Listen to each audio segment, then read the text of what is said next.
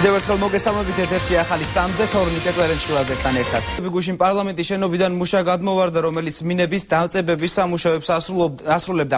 მშენებარე პარლამენტის და საავადმყოფოს პრესსამსახურში შავგულიძის გადმოვარდის ამბავს კატეგორიულად უარყოფენ, თუმცა ინფოწყის გადამღებმა ჯგუფმა გიორგი შავგულიძესთან ინტერვიუს ჩაწერა მოახერხა. დაზარალებული ყვება რომ მუშაობისას თოკიც დამჭერდი გასრიალდა და ჩამოვარდნა სწორედ ამის ამან გამოიწვია. როგორც გაირკვა 21 წლის გიორგი შავგულიძე კარგი მუშაობისთვის პრეზიდენტის მიერ ღირსების ორდენით არის დაჯილდოებული.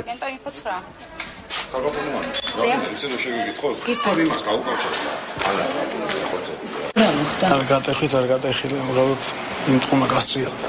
აჰა, ნუ შემოდა თოკი თუ რა? ხო, სოელი იყო საბონს მარობს და ეს საბონმა გასრიალა ბაზარზე ჩამგეთ. აჰა, გასაგები. რამდენად ხშირად ხდება ეგეთი ფაქტები გეუბნები? პირველი ფაქტი იყო ეს სამი თვის განმავლობაში.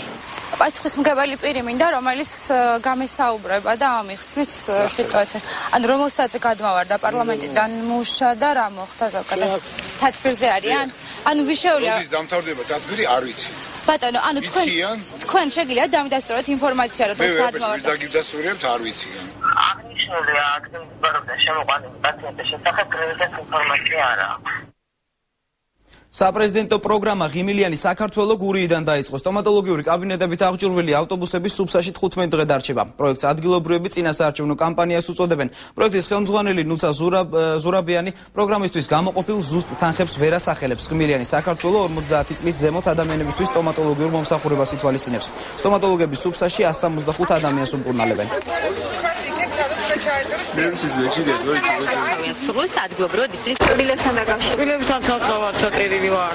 და ვინ ჩაგწერათ? ისინი ასიას გოგოები იყვნენ. ასიას ჩაწერენ? სადა?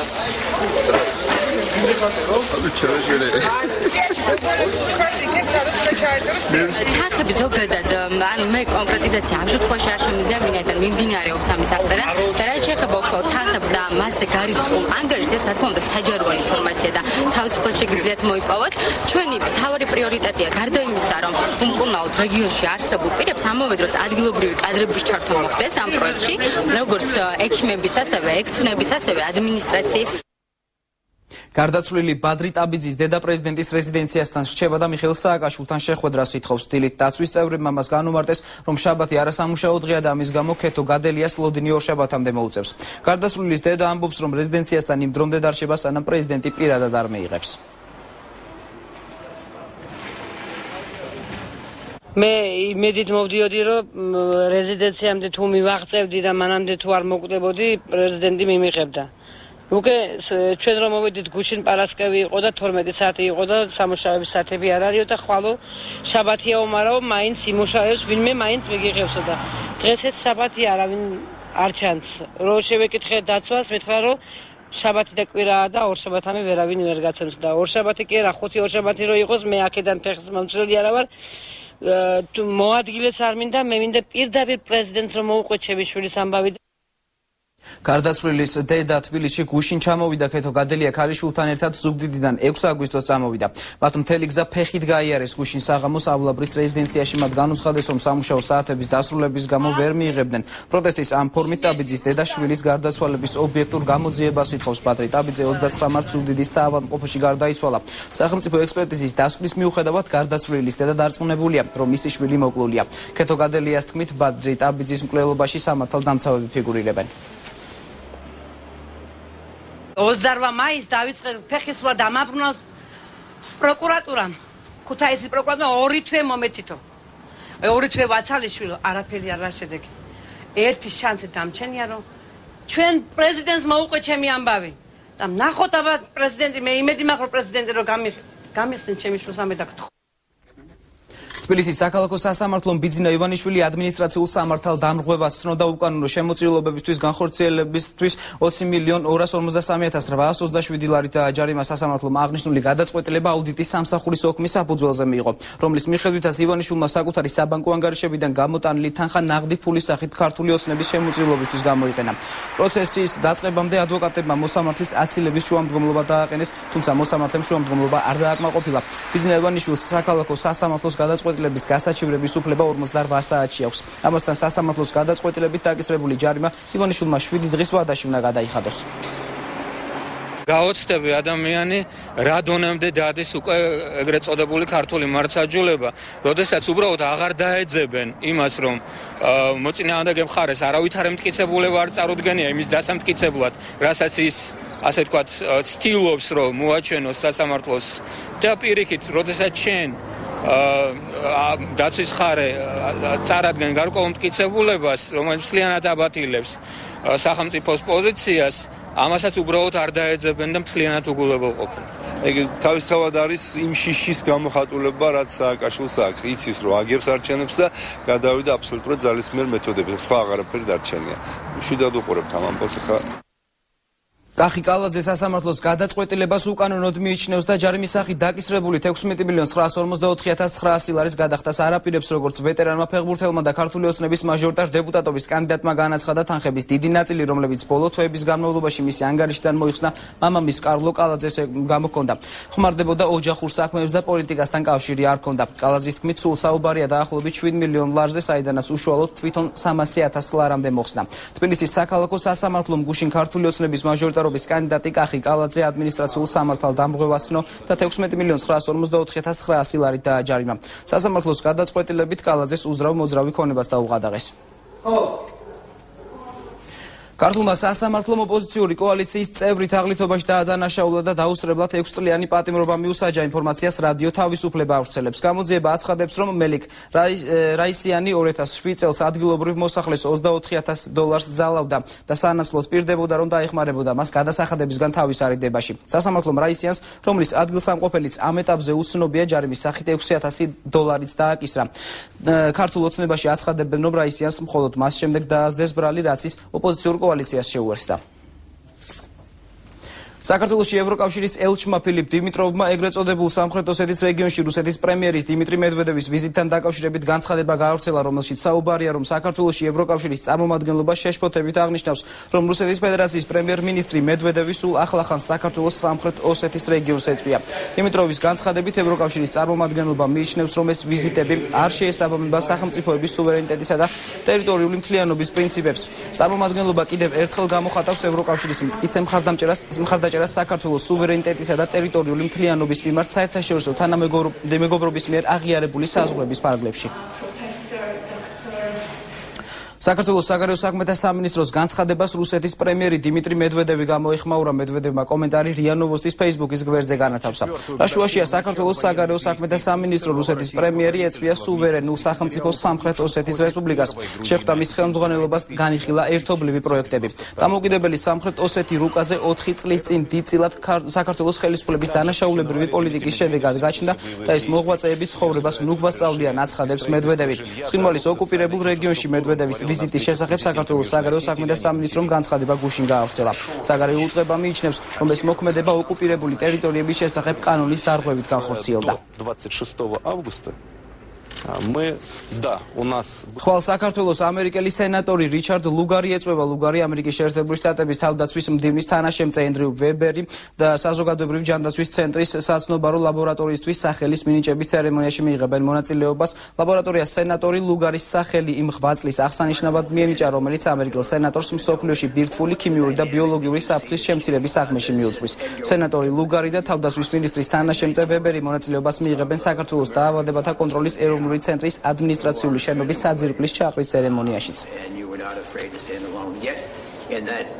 რადიო ჰერეთი კომუნიკაციების მარეგულირებელი კომისიის წინააღმდეგ სასამართლო დავა 16 აგვისტოს განახლდება. რადიო ჰერეთი მარეგულირებელი კომისიის 2011 წლის 30 სექტემბრის გადაწყვეტილების გაუქმებას ითხოვს რომლის მიხედვითაც რადიო მაუწყებლობის ლიცენზია ქალაქ თბილისში ჰერეთის ნაცვლად მედია ჰაუს დეკომს გადაეცა. სასამართლო პროცესი უკვე 8 თვეა გრძელდება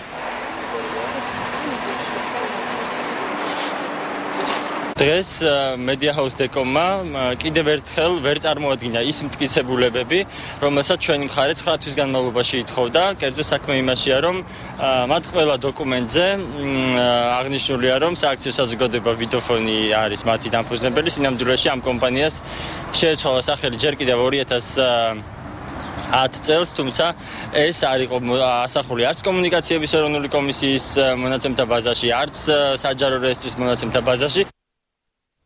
ნაციონალური მოძრაობა კომპანია Pension Berlandis მიერ ჩატარებულ კვლევას განცხადებით ეხმიანება. კომპანიამ უპასუხო დატოვა ძირითადი კითხვები კვლევის მეთოდოლოგიასა და დაფინანსების გამჭვირვალეობის შესახებ. პრესკონფერენციაზე ორგანიზაციის წარმომადგენელმა არ წარმოადგინა ინფორმაცია კითხვების დასმის ფორმისა და მათი თანმიმდევრობის შესახებ. უფრო მეტიც, ორგანიზაცია უარყოფს, რომ კვლევა დაფინანსებულია ბიძინა ივანიშვილის მიერ. ზემოაღნიშნული ეწინააღმდეგება Pension Berlandis თანამშრომლის განცხადებას, რომ კომპანია ივანიშვილისა და მისი პარტიისთვის მუშაობს. ცხადია, რომ არასამთავრობო ორგანიზაცია, რომელიც რომელიც მიიჩნევა კვლევის სპონსორად და რომლის დამფუძნებელი კორუფციული გარიგებისთვის ბრალდებული ბიზნა გიორგობიანია სინამდვილეში არის უბრალოდ ფასადური და ფინანსდება ბიზნა ივანიშვილის მხრიდან. გარდა ამისა, ორგანიზაციის წარმომადგენლის განცხადებით კვლევისთვის საველე სამუშაოები ჩაატარა არასამთავრობო ორგანიზაციამ, რომლის ხელმძღვანელიც ბიზნა ივანიშვილის ერთ-ერთი მრჩეველია. აღნიშნულია მართველი პარტიის განცხადებაში. თბილისის მთავრობამ საარჩევნო კოდექსის მოთხოვნის შესაბამისად წინა საარჩევნო კამპანიის დროს ქალაქში საარჩევნო პლაკატების გაკვრის წესი დაარეგულირა. სპეციალურად გამოყოფილ ადგილებზე პარტიებს თავისი პოლიტიკური რეკლამის გაკვრის საშუალება ექნებათ. ამის შესახებ ჟურნალისტებს მერიის პრეს-სპიკერმა ბაჩო დოლიძემ განუცხადა. თბილისის მთავრობის მიერ განსაზღვრული შენობა ნაგებობების გარდა პლაკატების განთავსება იგრძალება ქალაქის ისტორიულ ნაწილში არსებული კულტურული მემკვიდრეობის ძეგლებზე, რეაბილიტირებულ შენობებზე, სახელმწიფო და თვითმმართველობის ორგანოების შენობებზე.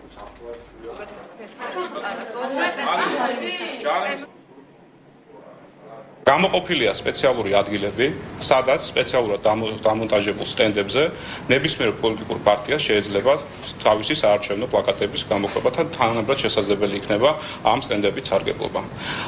ასევე გარდა საკანონმდებლო აკრძალვისა, თბილისის მთავრობა მოუწოდებს ყველა პოლიტიკურ პარტიას არ გააკრას საარჩევნო პლაკატები იმ შენობებზე, ახლად რეაბილიტირებულ შენობებზე და იმ შენობებზე, რომელსაც აქვს კულტურული მემკვიდრეობის სტატუსი მინიჭებული.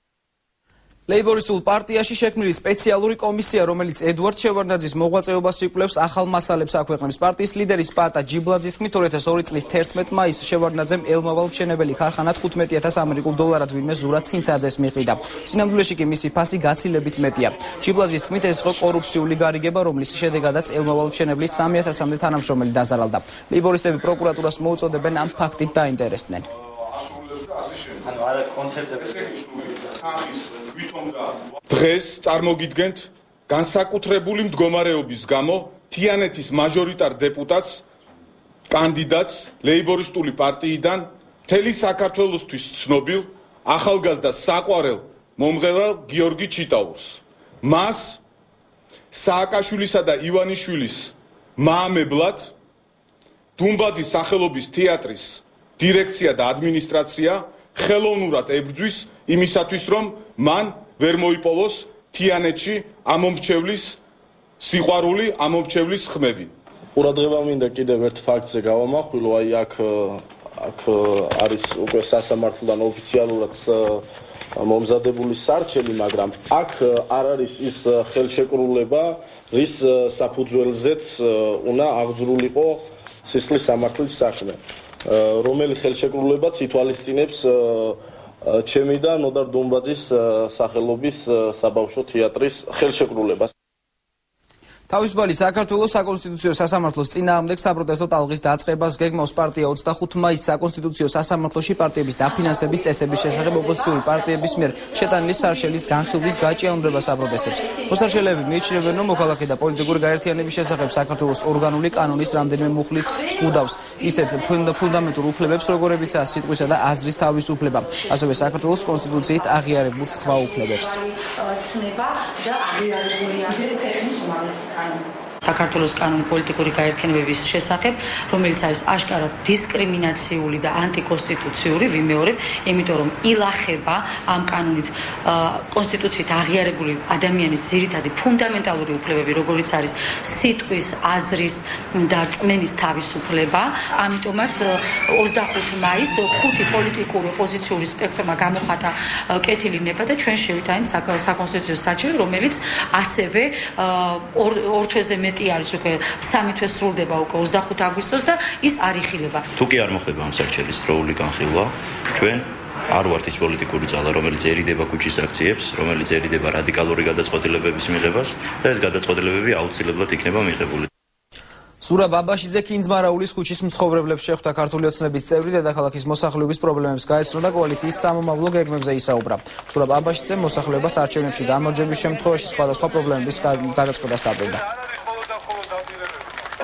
დაბერდა. ხალხისთვის არაფერი არ გაკეთებულა. როდესაც ხელისუფლება ესე ძალიან ამაყობს შენებლობებით და სხვადასხვა საკითხებით, ხალხისთვის თითითიძე არ არის დადებული. ქვაქვაზე არ არის დადებული, რომ ადამიანების ცხოვრება გაუმჯობესებულიყო ამ წლების განმავლობაში. ფიქრობ, რომ ნაციონალები არაფერს აღარ გაგვიკეთებენ კარგს აწი.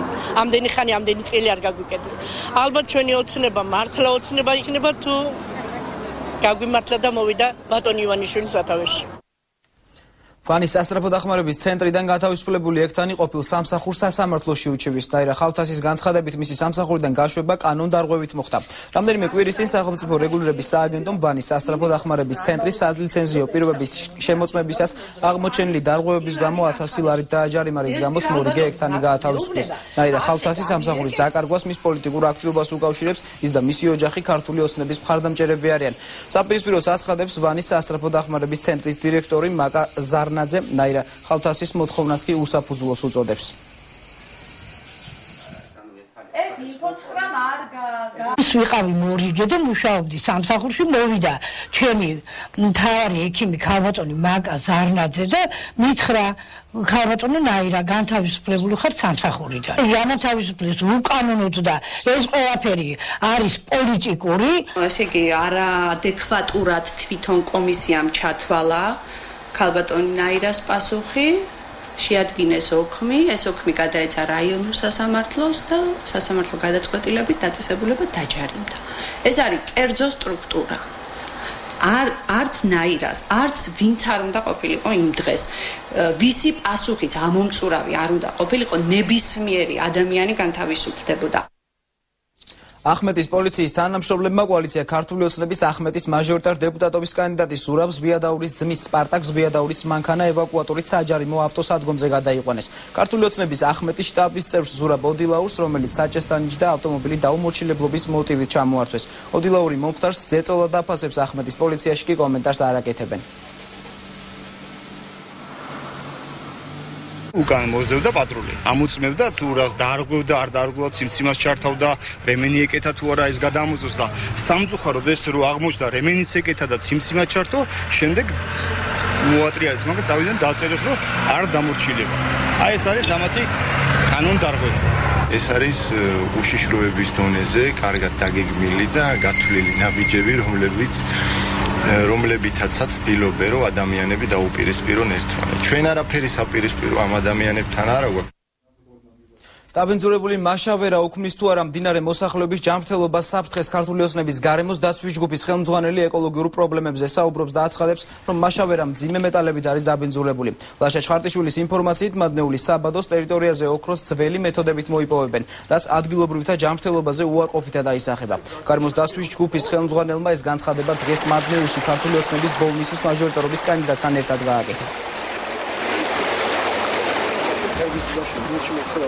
ჩვენი მოთხოვნა ბუნებრივია რომ მოხდეს ტექნოლოგიების შეცვლა, მოხდეს გადაიარაღება ამ წარმოებისა, ვინაიდან ამ შემთხვევაში შედარჩუნებული იქნება ორივე ინტერესი, როგორც ეკონომიკური, ასევე ეკოლოგიური. ყველაზე მთავარი მაინც არის მოსახლეობის ჯანმრთელობა და სამწუხაროდ მე თვითონ როგორც ექიმი ყოველდღიურად ხვდები იმას და ჩემთან მოდიან დაავადებული ქალები ქრისტიან დემოკრატიული მოძრაობის აჭარის ორგანიზაციის წევრები წინა საარჩევნოდ მოსახლეობასთან შეხვედრებს აგრძელებენ. ამჯერად ამჯერად ნიაზ სოსიძე მოსახლეობას ჩაქვში შეხვდა. სოსიძე ადგილობრივებს ურჩია რომ აუცილებლად მივიდნენ არჩევნებზე. ჩაქველების განცხადებით სოფლის პრობლემად კვლავ მოუწესრიგებელი გზა და ნაგავს აღრელი რჩება.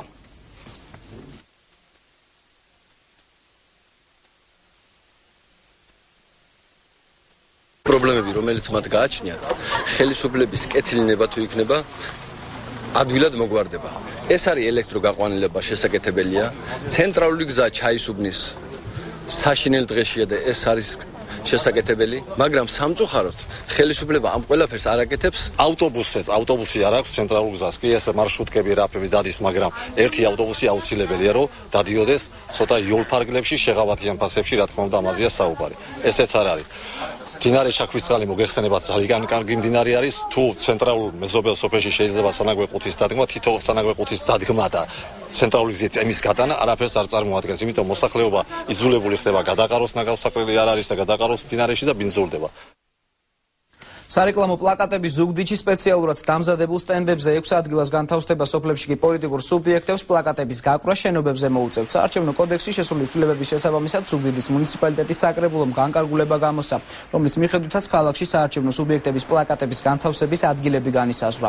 საკრებულოს გადაწყვეტილებას კოალიცია ქართული ოცნების ზუგდიდის შტაბში ეხმაურებიან და ამბობენ, რომ საარჩევნო სტენდები ქალაქის ცენტრალურ ადგილებზე დაშვებული არ არის და მხოლოდ 6 მისამართზე საარჩევნო პლაკატების გაკვრა საკმარისი არ იქნება.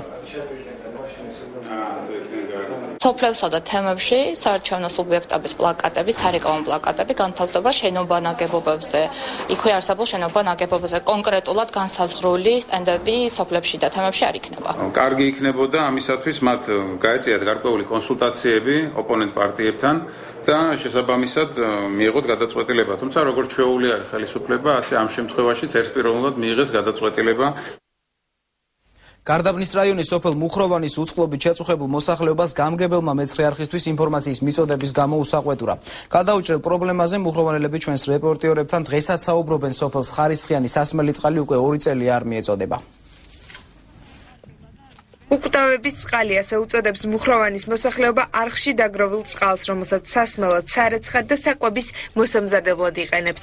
არხში წყალი იმდენად დაბინძურებულია, რომ ეპიდემიის საფრთხეს ქმნის. ბავშვები ნაწლავური ინფექციითა და ალერგიით ხშირად ავადდებიან. სოფელს ხარისხიანი სასმელი წყალი უკვე 2 წელი არ მიეწოდება და ადგილობრივებს ზიდვა შორი მანძილიდან უწევთ. რეცხავთ ამ იმ წყლით. ბანაობთ იმ წყლით, რომელსაც თქვენ ნახეთ.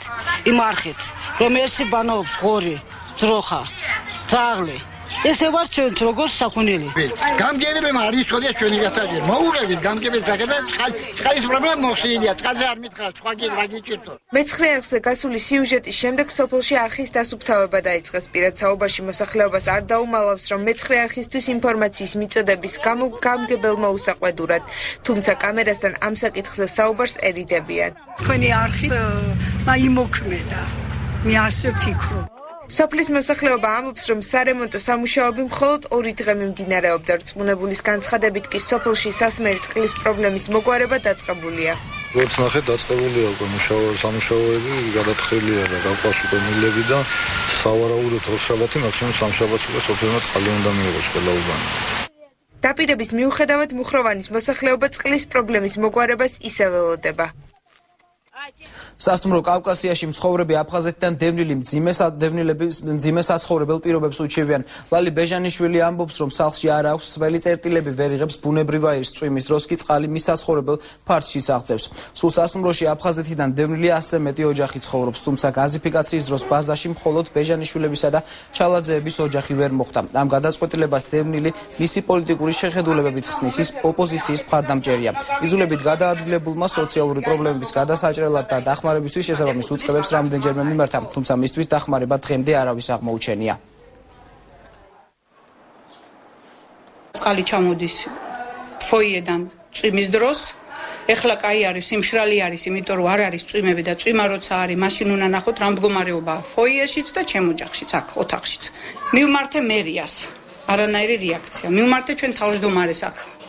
მარინა წულაი არის თავმჯდომარე, რომელიც რო არანაირად არ რეაგირებს ჩემ გამოძახებაზე და რაც გინა უთხრა არანაირად რაც კეთდება აქ. ბავშვები წაიყვანეს ანაკლიაში არანაირად ჩემი ოჯახის წევრი ჩვილები. ჩემი შვილები თო მაგათი არ ეკუთვნით რახამ ნაციონალები არა ვართ ალბათ არ ვიცი სახელმწიფო დაზღვევის ახალი პროგრამის ფარგლებში ბენეფიციართა რაოდენობის მკვეთრი ზრდის გამო კომპანია არქიმედეს გლობალ ჯორჯია დამატებით კადრებს ასაქმებს. თბილისში მცხოვრები 310.000 სადაზღვეო კლიენტის სხვადასხვა ტიპის მომსახურებისთვის 52 თანამშრომელი პროფესიული მომზადების კურს უკვე გადის. ახალი ბენეფიციარების სადაზღვეო სერვისი კი კომპანია 1 სექტემბრიდან განახორციელებს. ჯანდაცვის სახელმწიფო პროგრამით არქიმედეს გლობალ ჯორჯია თბილისის მასშტაბით 0-დან 5 წლამდე ბავშვებს, სტუდენტებს, პენსიონერებს 18 წლამდე ასაკის შეზღუდული შესაძლებლობების მქონე პირებსა და კვეთრად გამოხატული შეზღუდული შესაძლებლობების მქონე მოქალაქეებს მოემსახურება. ამ გათვლით და რაოდენობის მიხედვით ვფიქრობთ, რომ საკმარისი იქნება, თუმცა ჩვენ არ ვწყვეტ მუშაობას და ჩვენ ვიღებთ დამატებით ვაკანსიებს და სარეზერვო კადრები, რა თქმა უნდა, შეიქმნება. თუ გაჩნდება იმის საჭიროება, რომ ჩვენ კიდევ გავზარდოთ სტაფი, ამის პრობლემა ნამდვილად არ იქნება, იმიტომ რომ ეს უწყვეტ რეჟიმში გრძელდება ეს პროცესი სამუშაო და რა თქმა უნდა, ჩვენ მზად ვართ, რომ მივიღოთ და დავამატოთ ახალი სამუშაო ადგილი. სექტემბრიდან მზად ვართ, რომ მივიღოთ ყველა დაზღვეული სიამოვნები და გავუწიოთ სრულყოფილი, ასე ვთქვათ, მოსახულება. უნივერსიტეტის დამთავრების შემდეგ აქტიურად ვეძებდი, რაიმე შესაძლებლობას დავსახებულიყავი. რა თქმა უნდა, ნახე ეს ვაკანსია საკმაოდ კარგი პირობებით. გამოვაგზავნე CV, გავიარე რამდენადაპირიანი კონკურსი და დამიკავშირდნენ. ახლა გავდივარ გადამზადებას და სექტემბრიდან შევდგება ჩემს საქმიანობას. როგორ გაურბის სიცხეს მოსახლეობა და სად გრილდებიან ისინი ვინც დედაქალაქიდან გასვლა ვერ მოახერხეს სად ერთობიან თბილისელები და რა უჯდებათ გაგრილება ზაფხულის ხელდღეებში? ნახეთ ვატობ ჟალავას რეპორტაჟი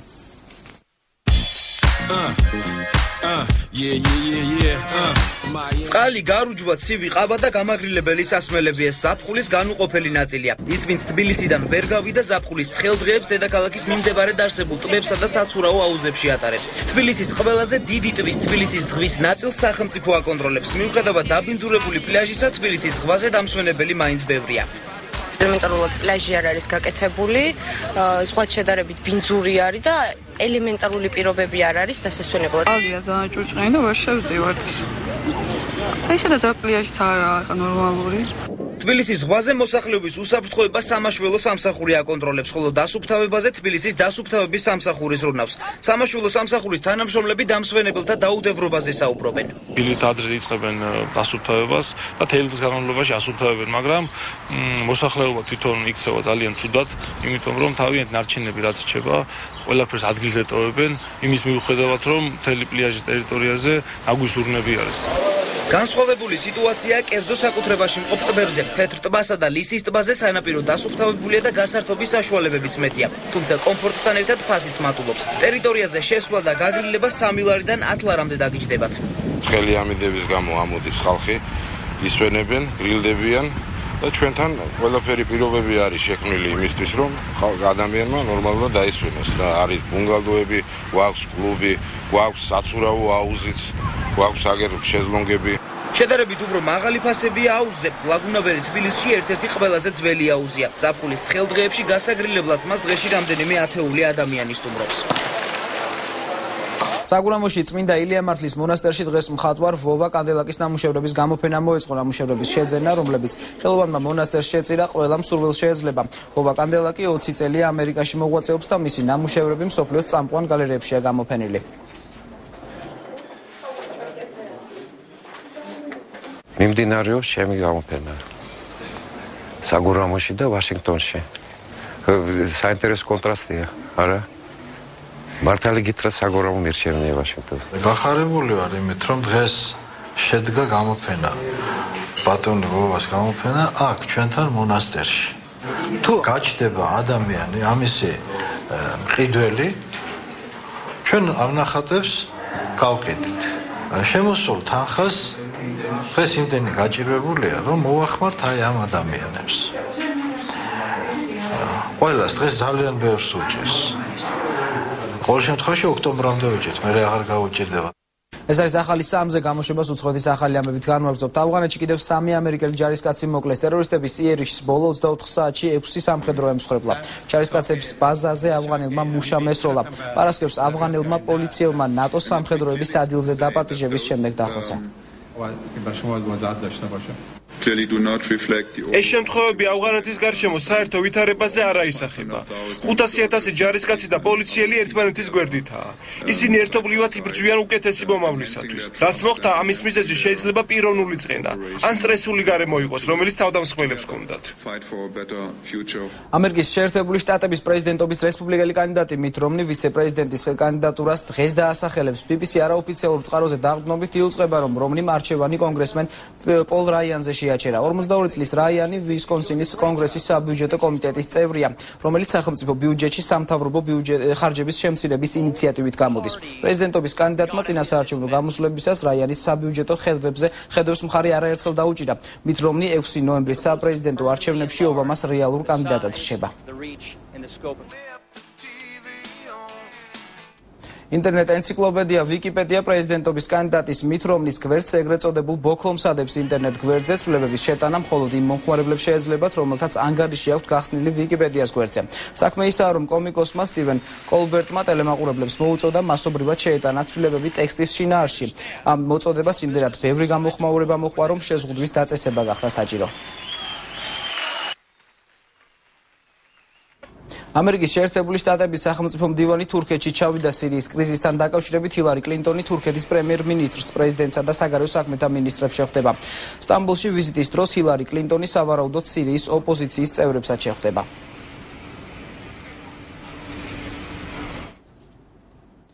სირიაში განვითარებულ მოვლენებთან დაკავშირებით დიდი ბრიტანეთის პრემიერ-მინისტრმა განცხადება გააკეთა სისხლის ღვრის შესაჩერებლად ერთადერთი გამოსავალი ასადის ხელისუფლებიდან წასვლა. აცხადებს დევიდ კამერონი. დიდი ბრიტანეთის პრემიერ-მინისტრმა სირიის ოპოზიციისთვის დახმარების შესახებაც ისაუბრა სირიის ოპოზიციისათვის 5 მილიონი სტერლინგის გამოყოფასთან დაკავშირებით საგარეო საქმეთა მინისტრის შემდეგ განცხადება დიდი ბრიტანეთის პრემიერმა გააკეთა. დევიდ კამერონმა იმ პრობლემების შესახებაც ისაუბრა, რის გამოც კონფლიქტის მოგვარება გაჭიანურდა.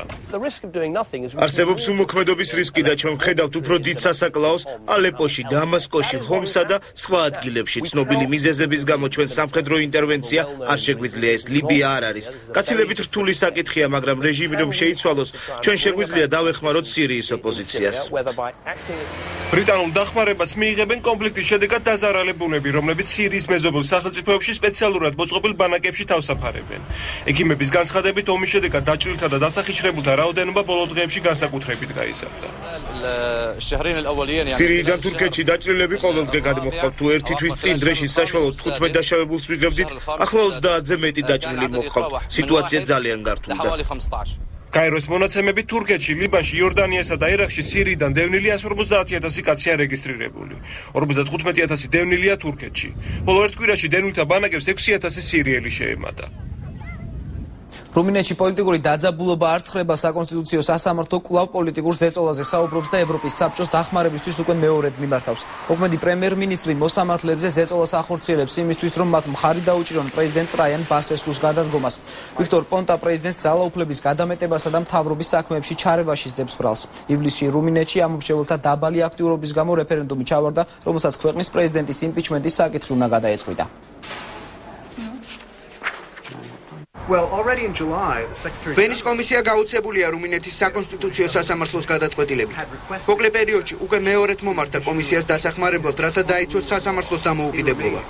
ევროსაბჭო ოფიციალურ გამოხმაურებას აღნიშნულ საკითხზე ოქტომბერში გაავრცელებს. მექსიკაში პოლიციამ 14 ადამიანის გვამი იპოვა გარდაცვლილები ცენტრალურ ავტომაგისტრალზე მდგომ მიტოვებულ ფურგონში აღმოაჩინეს. სამართალდამცველების ინფორმაციით დაღუპულები ნარკომოვაჭრეთა მძევლები იყვნენ და შეერთებული შტატების საზღვართან ახლოს გაიტაცეს და შემდეგ დახოცეს. ბოლო 5 წელიწადში მექსიკაში კრიმინალურ გარშევებს ათეულობით ადამიანის სიცოცხლე შეეწირა.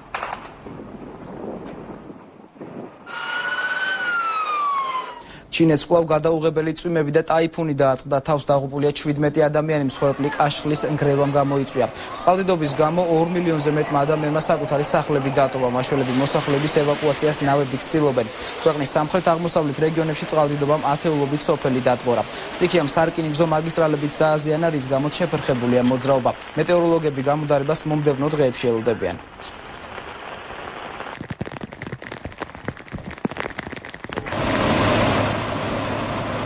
ავარია ინდოეთში 50 ადამიანი დაიღუპა ინდოეთის ერთ-ერთ შტატში მომხდარი ავტოავარიის შედეგად. ავტობუსი დამხურჭებისას გზიდან გადავიდა და 100 მეტრის სიმაღლიდან ხევში გადაიჭიხა. 39 ადამიანი ადგილზევე დაიღუპა 11 კი საავადმყოფოში გადაყვანისას. სამაშველო ოპერაციები მიმდინარეობს, თუმცა შიშობენ, რომ სპერპლის რიცხვი შესაძლოა გაიზარდოს. ავარიის ზუსტი მიზეზი ჯერჯერობით უცნობია, მიმდინარეობს გამოძიება.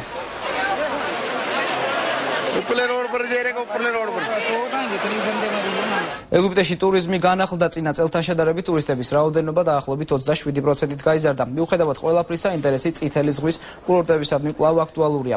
სასტუმროების უმრავლესობა თითქმის 70%-ითაა დატვირთული. ეგვიპტე ერთადერთი ისლამური ქვეყანაა, რომელიც ღია მასობრივი ტურიზმისთვის. მოსახლეობის თითქმის 10% ტურისტულ ბიზნესშია ჩართული. პოლიტიკურმა არეულობებმა ეგვიპტე 2 მილიარდ დოლარზე მეტი დააზარალა. პირამიდების ქვეყანა ყოველწლიურად 12 მილიონ ტურისტს მასპინძლობს. დესტაბილიზაციის ფონზეც კი ქვეყანაში მოგზაურთა ტალღა არ წყდება. ბოლო 6 თვის მაჩვენებელი 27%-ითაა გაზრდილი შარშანდელთან შედარებით. ქვეყანაში ყოველწლიურად დაახლოებით 12 მილიონი ტურისტი შემოდის. იმედს ვიტოვებ, რომ ეგვიპტეში ტურიზმი რევოლუციამდე მდგომარეობას თანდათან დაუბრუნდება. რუსულმა ანტივირუსულმა ლაბორატორია კასპერსკიმ ახლო აღმოსავლეთში ახალი კომპიუტერული ვირუსი აღმოაჩინა. ვირუსს რომელსაც გაუსი უწოდეს შეუძლია საბანკო ტრანზაქციების ელექტრონული პოსტის და სოციალური ქსელების ბაზაში შეღწევა და ინფორმაციის განადგურება. ლაბორატორიის განცხადებით ვირუსმა 2500 პერსონალური კომპიუტერის ბაზაში უკვე შეაღწია. ძირითადად ლიბანში ისრაელში და პალესტინაში. კომპანიაში აცხადებენ რომ ახალი ვირუსი მაისში აღმოჩენილი ამერიკული წარმოშობის ფლეიმის და დუქუს ანალოგია. ამერიკის თავდასხმის დეპარტამენტი კი კომენტარზე უარს აცხადებს разновидность вредоносного программного. ახალი ვირუსი ძალიან გავს ფლეიმის ვირუსს. დარწმუნებული ვარ, რომ ამ ორ კიბერ ჯაშუს ერთი შექმნელი ხავს. გვახსოვს ის ფაქტიც, რომ ფლეიმის ბაზაზე შექმნილმა მეორე ვირუსმა სტაკნეტმა ირანულ ბირთვულ ლაბორატორიებში შეაქცია და პროგრამული ცენტრიფუგები დააზიანა. ამ დროისთვის სულ ეს იყო უახლესი ინფორმაციით ზუსტად 6 საათზე დაგებრუნდებით დროებით. დარჩით ჩვენ სახლზე.